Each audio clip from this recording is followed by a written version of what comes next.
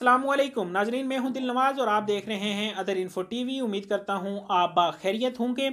नजरीन, video लेके आया हूँ आपके लिए, ख़ासकर जो ओवरसीज़ पाकिस्तानी है और पाकिस्तान आने के लिए एयरपोर्ट में मौजूद है या वहाँ उन्हें टिकट नहीं मिल रही या फंसे हुए हैं, उनके लिए गवर्नमेंट ऑफ़ पाकिस्तान ने सेकंड स्टेप शुरू कर दिया है।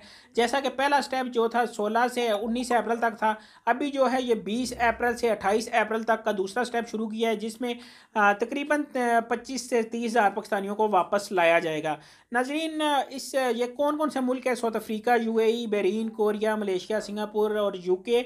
और इसके अलावा ऑस्ट्रेलिया में अभी जो इन्फॉर्मेशन आपको देने लगा हूँ वो ऑस्ट्रेलिया से देने लगा हूँ कि ऑस्ट्रेलिया से कौन कौन सी फ़्लाइट चलाई जाएगी कहाँ कहाँ के लिए चलाई जाएगी किस एयरपोर्ट के लिए चलाई जाएगी। मेरी वीडियो देखें और अगर मेरे चैनल को सब्सक्राइब नहीं किया तो जल्दी से कर लें सब्सक्राइब ताकि मेरी नेक्स्ट आने वाली वीडियो सबसे पहले आप तक पहुँच सके। नाजरीन ऑस्ट्रेलिया के लिए मैं आपको इन्फॉर्मेशन देने लगा हूँ। ऑस्ट्रेलिया में जो लोग पाकिस्तान आना चाहते हैं आ, उनके लिए जी 26 अप्रैल को ऑस्ट्रेलिया से लाहौर के लिए फ़्लाइट चलेगी और ढाई सौ पैसेंजर को पी का जो एरोप्लान है वो लेके आएगा। स्पेशल फ़्लाइट है। इसके अलावा ऑस्ट्रेलिया की इस, ये जो शेड्यूल है मेरे पास, इसमें कोई प्रवास नहीं है।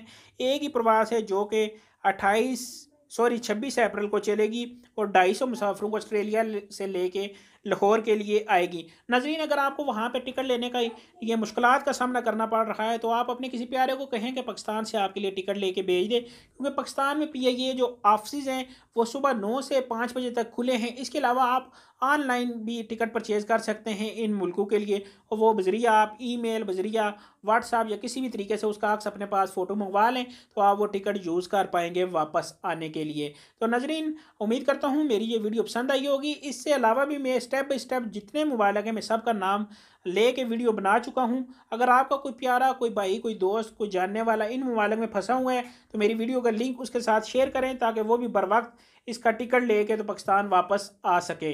उम्मीद करता हूँ मेरा ये वीडियो आपको पसंद आई होगी।